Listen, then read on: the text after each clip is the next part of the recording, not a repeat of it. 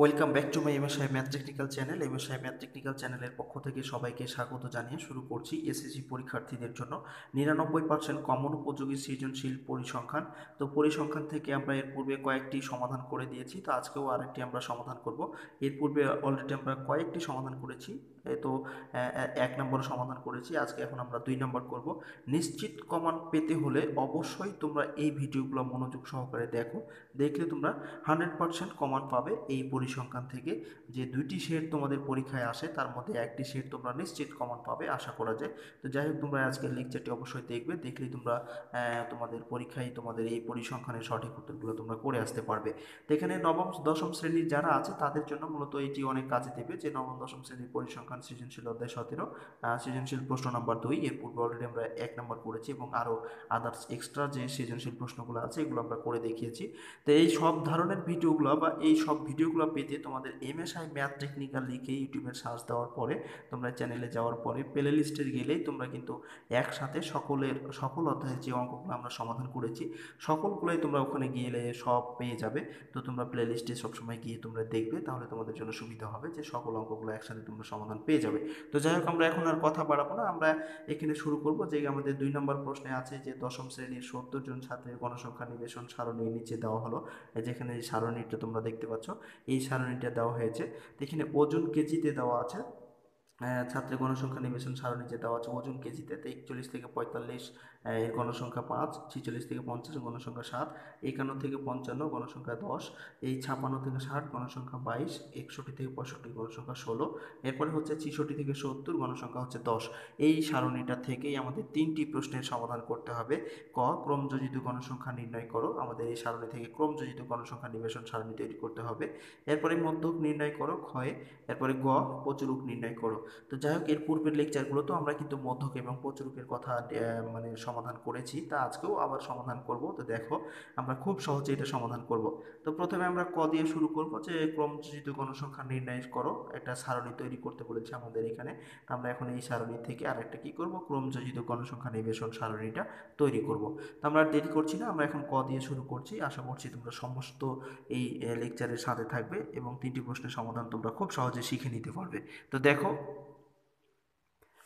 আমরা এই সারণী থেকে আমরা এখানে কি করব? মধ্য নাকি সরি ক্রমযোজিত গণসংখ্যা নিবেশন সারণী তৈরি করব। তো দেখো, খুব সহজে আমরা এটা করতে পারি। অর্থাৎ এখানে আমাদের যে সারণীটি দেওয়া আছে, এখান থেকেই কি করব? আমরা এই এই ক্রমযোজিত সারণীটা তৈরি করব। তো সমাধান ক দিয়েছি। ক্রমযোজিত গণসংখ্যা নিবেশন সারণী নিম্নরূপ। তো এখানে আমরা এটা, এখানে আমাদের সারণী কথাটি ছুটে গেছে, তো আমরা এখানে সারণী, অর্থাৎ এখানে ক্রমজহিত গণসংখ্যা নিবেশন সারণী হচ্ছে নিম্নরূপ। এই যে আমরা এখানে সারণীটা অলরেডি তৈরি করে ফেলেছি, তো দেখো এটা কীভাবে তৈরি করেছি, এটা আমি একটু তোমাদের বুঝিয়ে দিলেই তোমরা হয়তো বুঝে নিতে পারবে। তো প্রথমে আমরা কি করব ক্রমযোজিত সারণী যখন আমাদের তৈরি করতে বলবে, তখন আমরা শ্রেণি ব্যাপ্তি গণসংখ্যা এবং ক্রমযোজিত গণসংখ্যা, এই তিনটে অপশন আমাদের লাগবে। অর্থাৎ ওজন কেজিতে আমরা এখানে দিয়েছি আছে তাই, সেটা, এটা হচ্ছে শ্রেণি ব্যাপ্তি এটা শ্রেণি ব্যাপ্তি এটা গণসংখ্যা এটা হচ্ছে ক্রমযোজিত গণসংখ্যা তিনটি অপশন আমাদের লাগবে, ক্রমযোজিত গণসংখ্যা নিবেশন সারণী তৈরি করতে হলে। তো যাই হোক, আমরা এটা করে ফেলেছি। যেহেতু আমাদের এখানে শ্রেণি ব্যাপ্তি নাই, ওজন কেজি আছে, তাই আমরা এখানে ওজন কেজিতে দিয়েছি। আর গণসংখ্যা ক্রমযোজিত গণসংখ্যা এরপরে আমাদের প্রথম শ্রেণি ব্যাপ্তিটা আছে একচল্লিশ থেকে পঞ্চাশ, এখানে আমরা একচল্লিশ থেকে পঞ্চাশ দিয়েছি। তো একচল্লিশ থেকে পঞ্চাশের গণসংখ্যা আছে কত? পাঁচ। তো আমরা এখানে পাঁচ বসিয়েছি। ক্রমযোজিত গণসংখ্যাও হবে কত? এটা পাঁচ।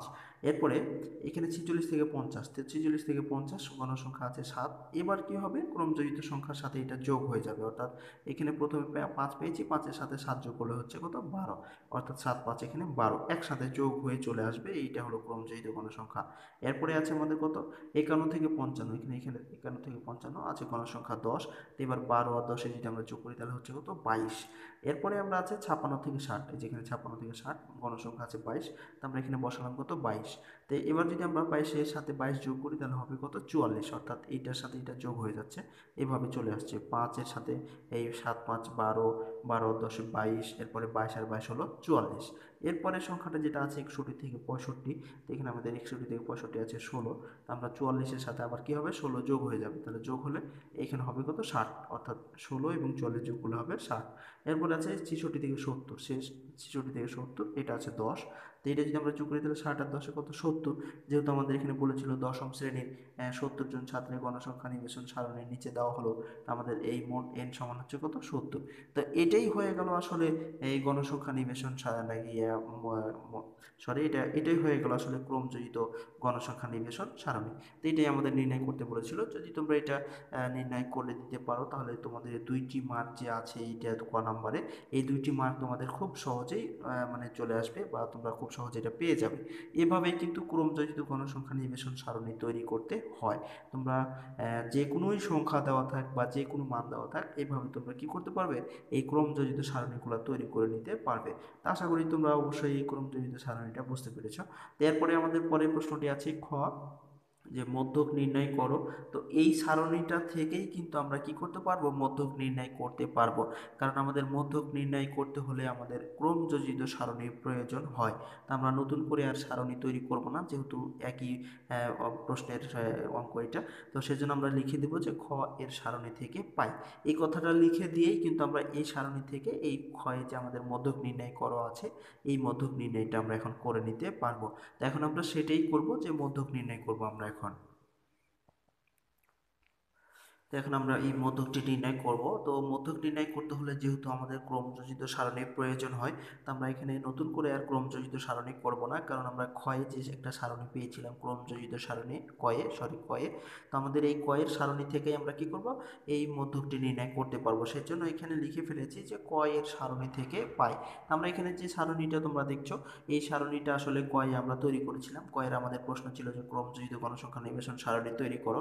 তো এখান থেকে আমাদের কি করব? আমরা মধ্যকটি নির্ণয় করব। তো আমরা এখানে অলরেডি মানগুলা লিখেছি। তো কীভাবে এই মানগুলা যে পেলাম, এটা আসলে তোমাদেরকে আমি এখন একটু বলব। তোমরা খুব মনোযোগ সহকারে শুনবে এবং দেখবে, তাহলে তোমরা সহজেই বুঝে নিতে পারবে। তা আমাদের অবশ্যই এল এর মান বের করতে হবে মধ্যকে। তো এল এর মান বের করতে হলে এন এর মানটাকে আমাদের একটু কাজ করে নিতে হবে। অর্থাৎ এখানে যে আমরা পেয়েছি মোট সংখ্যা এন সমান সত্তর, তো এই সত্তরকে আমরা, এই এনকে আমরা দুই দ্বারা ভাগ করব, তাহলে আমাদের যে মানটা আসবে, ওটা আমাদের এল এর মান বের করতে সুবিধা করবে বা সহযোগিতা করবে। তো এখানে আমরা কি করলাম? এনকে দুই দ্বারা ভাগ করলাম। অর্থাৎ এই সত্তরকে দুই দিয়ে ভাগ করলে আমরা পাবো কত? পঁয়ত্রিশ। এই পঁয়ত্রিশটা গণসংখ্যার কোন সারিতে আছে? গণসংখ্যার কোন সারিতে এই পঁয়ত্রিশটা আছে? ওই সারির শ্রেণীব্যাপ্তির নিম্ন সীমাটা হবে এল এর মান। এখন আমরা এই পঁয়ত্রিশটা কী করব? গুণে আসব। তো দেখো, আমরা যদি এখানে গুণি, তাহলে এখানে হচ্ছে কত? পাঁচ। তো পাঁচ, সাত, পাঁচ হচ্ছে বারো। বারো দশে হচ্ছে বাইশ। এখানেও কিন্তু পঁয়ত্রিশ নাই, বাইশ পর্যন্ত পেয়েছি। এরপরেটা যদি যাই, তাহলে বাইশ আর বাইশ কত হচ্ছে? চুয়াল্লিশ। তাহলে অবশ্যই এই পঁয়ত্রিশটা কি আছে? এই এখানে আছে পঁয়ত্রিশটা। অর্থাৎ পঁয়ত্রিশের মানটা কিন্তু আমাদের এই সারিতে আছে। তো এই সারির শ্রেণীব্যাপ্তির নিম্ন সীমাটা হবে এল এর মান, অর্থাৎ নিম্ন সীমা মানে ছোটটা। তো এখানে ছোট হচ্ছে কত? ছাপান্ন। এটাই হচ্ছে এল এর মান। তো আমরা এখানে কি করব? এল দিয়ে দিব। অর্থাৎ এল সমান হচ্ছে এই ছাপান্ন। অর্থাৎ এই যে আমরা এখানে পেলাম এল এটা হচ্ছে কি এল এর মান। তো এইভাবে এল এর মান বের করে নিতে হয়। আবারও হয়তো আমি, তোমরা হয়তো বুঝতে পারোনি, আবারও বলছি আমি যে এন এর মান যেটা পাবো, এটাকে আমরা দুই দ্বারা ভাগ করব। এটা পরিসংখ্যানের নিয়ম। তো দুই দ্বারা ভাগ করার পরে যে মানটা আমরা পাবো, ওই মানটা গণসংখ্যার যে সারিতে থাকবে ওই সারির নিম্ন সীমাটা হবে শ্রেণীব্যাপ্তির নিম্ন সীমাটা হবে এল এর মান। আবার আশা করি তোমার তোমরা বুঝতে পেরেছ। তো এই এখানে আমরা পেয়েছি এন বাই টু সমান পেয়েছি আমরা পঁয়ত্রিশ। এই পঁয়ত্রিশটা কিন্তু এই সারিতে আছে, কোণে আসলাম সাত পাঁচ বারো বারো দশ বাইশ, বাইশের বাইশ চুয়াল্লিশ। অর্থাৎ পঁয়ত্রিশের মানটা এই এই সারিতে আছে। এই সারির নিম্ন সীমার শ্রেণীব্যাপ্তির, নিম্ন সীমাটা হবে এলের মান। তো শ্রেণীব্যাপ্তির নিম্ন সীমাটা হচ্ছে এখানে ছাপান্ন মানে নিম্ন বলতে ছোট। এটাই হচ্ছে তাহলে এলের মান। এভাবে এলের মানটা আমাদের বের করে নিতে হয়। আমরা এখানে এল এর মানটা এভাবে বের করে নিলাম। এরপরে এফসি এফসি এর মানটা বের করতে হয় এভাবে যে আমরা সর্বোচ্চ গণসংখ্যার পূর্ববর্তী শ্রেণির মানে সর্বোচ্চ গণসংখ্যা এখানে বাইশ পেয়েছি। এর পূর্ববর্তী ক্রমজড়িত সংখ্যাটা হবে এফসি এর মান। তো এখানে আমরা পেয়েছি সর্বোচ্চ গণসংখ্যা হচ্ছে বাইশ, এর পূর্ববর্তী ক্রমজড়িত গণসংখ্যা হচ্ছে বাইশ। তো এইটা হবে কিসের মান? এফসি এর মান। তাই আমরা এখানে লিখে দেবো এফসি তো এইটা হয়ে গেল কিসের মান? এফসি এর মান। অর্থাৎ এই যে আমরা বাইশ এখানে পেলাম, এটা হচ্ছে কিসের মান? এফসি এর মান। তো আমরা এল এর মান পেলাম, এবার এফসি এর মান পেলাম, এবার বাইর করব আমরা এফ এম এর মান। তো যেখানে তোমরা দেখতে পাচ্ছ এফ এম তো এই এফ এম এর মান বের করার সময় আমাদের একটা জিনিস খেয়াল রাখতে হবে, যে সর্বোচ্চ গণসংখ্যা যেটা থাকবে সেটা হবে কিসের মান? এল এর মান। তো এখানে আমাদের সর্বোচ্চ গণসংখ্যা আমরা পেয়েছি কত? বাইশ। এই গণসংখ্যাটা সর্বোচ্চ হচ্ছে বাইশ। তো এটাই হবে কিসের মান? এফ এম এর মান, অর্থাৎ এফ এম আমরা দিয়ে ফেললাম। তো এফ এম এর মানও পেয়ে গেলাম। এরপরে এইচ দ্বারা বোঝানো হয় ব্যবধান বা ঘটন সংখ্যা বা পার্থক্য। তো যেখানে তোমরা দেখো একচল্লিশ থেকে পঁয়তাল্লিশ, ব্যবধান হচ্ছে কত? পাঁচ। তো এখানে আমরা দিয়ে দিলাম পাঁচ। অনেকেই হয়তো মনে করবেন যে, স্যার, একচল্লিশ থেকে পঁয়তাল্লিশ, এটা তো চার হয়। পাঁচ কীভাবে হয়? কিন্তু একচল্লিশটাকে সহ করে গুনতে হবে। অর্থাৎ একচল্লিশ তোমরা হয়তো বুঝতে পারো না। তো এখানে দেখো কয়টা সংখ্যা আছে, আমি একটু বুঝাই, তাহলে তোমরা সহজে বুঝে নিতে পারবে। এই যে একচল্লিশ, এরপরে চলে যাচ্ছে আমরা বিয়াল্লিশ, এরপরে আমরা তেতাল্লিশ এইভাবে তোমরা দেখো তেতাল্লিশ, এরপরে কত যাব? চুয়াল্লিশ, এই যে চুয়াল্লিশ লিখলাম, এরপরে কত? পঁয়তাল্লিশ। এখন সংখ্যাটি গুণও কতটি হয়? এই যে এখানে এক, দুই, তিন, চার, পাঁচ, দেখো এখানে পাঁচটি সংখ্যা আছে। অর্থাৎ একচল্লিশ সহকারে কিন্তু এখানে পাঁচটি সংখ্যা আছে, তাই এইচের ব্যবধানটা হবে কত? পাঁচ। এইভাবে আসলে এখানে ব্যবধানটা আছে। তা আমরা এইচ সমান পেলাম কত? পাঁচ। এখন আমরা কি করব? মধ্যক নির্ণয় করব। যেহেতু আমাদের মধ্যকের যে মানগুলো আমাদের প্রয়োজন হয়, এই মানগুলো সবই আমরা এখানে কি হয়েছি? পেয়ে গেছি। তো এখন আমরা মধ্যকের সূত্রটি লেখার পরে আমরা শুধুমাত্র কি করব? মানগুলা বসিয়ে দিব তাহলে আমাদের এখানে খুব সহজেই মধ্যক নির্ণয় হয়ে যাবে। তো এখানে আমরা মধ্যক নির্ণয় সূত্রটি জানি। আমরা জানি মধ্যক সমান L plus N by two minus F C গণিত এইচ ভাগ এফ এম তো আমরা এখন এই যে আমরা চলকগুলোতে এখন কি করব? মানগুলো আমরা বসিয়ে নেব। অর্থাৎ এখানে এল সমান পেয়েছি আমরা কত? ছাপ্পান্ন। তো আমরা এখানে বসালাম ছাপ্পান্ন। এন বাই টু সমান পেয়েছিলাম আমরা পঁয়ত্রিশ। এটা আমাদের এন বাই টু এর জায়গায় মান বসিয়ে দিলাম। এরপরে এফ সি সমান আমরা পেয়েছি বাইশ। তো আমরা এখানে এফ সির জায়গায় বাইশ বসালাম। এরপরে এইচ সমান পাঁচ পেয়েছি। এই যেখানে পাঁচ। আর এফ এম সমান পেয়েছি আমরা বাইশ। তো এখানে বাইশ বসালাম। তো এখন আমরা কি করব? এই টোটালটাকে আমরা এখন হিসেব করে নিতে পারব। হিসেব করে নেব। তো পঁয়ত্রিশ থেকে বাইশ বাদ দিয়ে দিব। যেটা বাদ দেওয়ার পরে যেটা থাকবে ওটা পাঁচের সাথে আবার গুণ হয়ে যাবে। যেহেতু এটা পাঁচের সাথে গুণ অবস্থায় আছে। তো এটাই আমরা এখন করব। তো দেখো, তো এখানে আমরা এটা করলাম যে ছাপানো আছে, থাক। পঁয়ত্রিশ থেকে বাইশ বাদ দিয়ে দিলাম, থাকছে তেরো। আর এখানে পাঁচ ভাগ বাইশ আছে তো বাইশ। তো এখন আমরা কী করব? ছাপ্পান্ন। তেরো যেহেতু পাঁচের সাথে গুণ হবে, এটা উপরের সংখ্যা ধরে নিতে হয়, নিচে কিছু নাই সেজন্য। তো এখানে তেরো যদি আমরা পাঁচের সাথে গুণ করি, পাঁচ তেরো কত? পঁয়ষট্টি। তো পঁয়ষট্টি ভাগ বাইশ। তো এটাকে দুই নিয়মে করা যাবে, অর্থাৎ এখানে লসাগু করেও করা যাবে আর সরাসরি পঁয়ষট্টিকে বাইশ দ্বারা ভাগ করে দিলেও করা যাবে। তো আমরা লসাগু করব না এখানে, সরাসরি আমরা পঁয়ষট্টিকে বাইশ দ্বারা ভাগ করে দেবো, ভাগ করে দেওয়ার পরে এটি করব। তাহলে আমাদের জন্য কি হবে? খুবই সহজ হবে। কেন? যে লসাগু করতে গেলে অনেক সময় দেখা যায় যে অনেকে লসাগু করার নিয়মটা হয়তো জানে, কিন্তু ভুল হয়ে যায় এবং ভুল হওয়ার সম্ভাবনাটা একটু বেশি থাকে। যেহেতু লসাগুতে দুই, তিনটি লাইন বেশি করতে হবে, তো দরকার নাই, আমরা পঁয়ষট্টিকে বাইশ দ্বারা সরাসরি ভাগ করে দেবো। ভাগ করে দেওয়ার পরে ছাপ্পান্নর সাথে যোগ করে দেবো। তো এখানে আমরা পঁয়ষট্টিকে বাইশ দ্বারা ভাগ করে পেয়েছি, দুই দশমিক নয়শো পঞ্চান্ন। তো এটা এখন আমরা কী করব? ছাপান্নর সাথে যোগ করে দেবো। তো ছাপান্ন দিয়ে হচ্ছে আটান্ন দশমিক নয়শো পঞ্চান্ন। এই ছিল আমাদের এই মধ্যক নির্ণয়। তো আশা করি তোমরা খুব সহজে মনোযোগ সহকারে দেখেছ। দেখে থাকলে এই মধ্যক নির্ণয় করতে তোমাদের আর কোথাও কোনো সমস্যা থাকবে না। তারপরে যদি তোমাদের এখান থেকে বুঝতে কোনো সমস্যা হয়, তাহলে তোমরা কমেন্ট বক্সে অবশ্যই লিখে জানাবে। আমরা সেটা সমাধান করার চেষ্টা করব ইনশাল্লাহ তো এরপরে আমরা কি আছে? এরপরে গ নাম্বারে যে আমাদের প্রশ্ন আছে, প্রচুর নির্ণয় করো। তো এখন আমরা আবার ওই প্রচুরটি নির্ণয় করব। তো দেখো আমরা খুব সহজে প্রচুরটি নির্ণয় করে দেবো। তা এখন আমাদের গ নাম্বারের প্রশ্নটি আছে, প্রচুরক নির্ণয় করো। তো আমরা এখন এই প্রচুরকটি নির্ণয় করে দেব। এর পূর্বে অলরেডি আমরা প্রচুরক নির্ণয় করেছি, তো আশা করি তোমরা সেখান সেখান থেকেও প্রচুরক নির্ণয় করাটি শিখে ফেলবে। তারপর তারপর আবারও আজকে আমরা প্রচুরক নির্ণয় করছি। তো সেখানে দেখো, খুব মনোযোগ সহকারে দেখে নেবে। যদি একটু সমস্যা থাকে, তাহলে সেখানে সেটা আর থাকবে না।